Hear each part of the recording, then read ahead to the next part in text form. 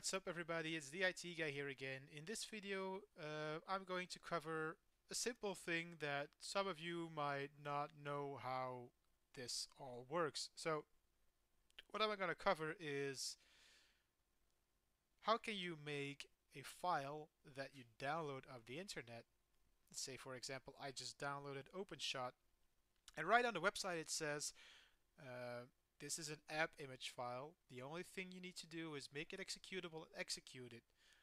But, you know, for people who don't really know anything about Linux, who never really touched Linux other other than besides maybe uh, play around a little bit in the um, in the UI, uh, you never really worked in the terminal.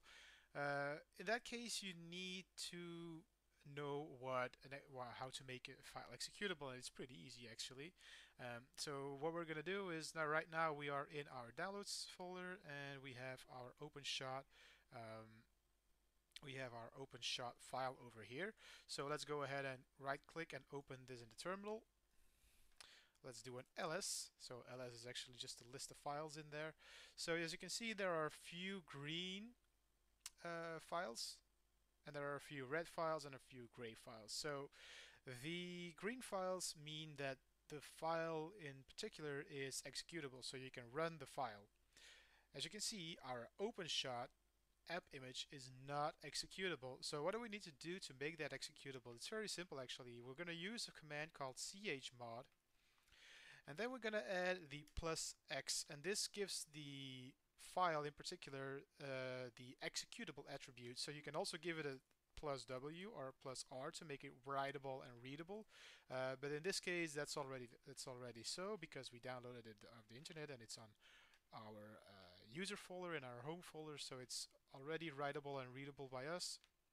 Uh, so the only thing we need to do is make it executable. So we just do the plus X and then just type in the name of the file. In this case, it's OpenShot dash v2 blah blah blah, and then just press enter, and that should be it. And then you do the ls command, and as you can see right now, OpenShot.v uh, .2 blah blah blah is in green, which means that it's executable. So um, this is actually just an app image. This is like an, an, an executable in Windows. It's just something that you can run right now. But of course, Linux needs to know that the file is indeed executable, otherwise it will not run. Now we can just go ahead and click yes. And there we go, OpenShot opens up. You can skip the tutorial stuff.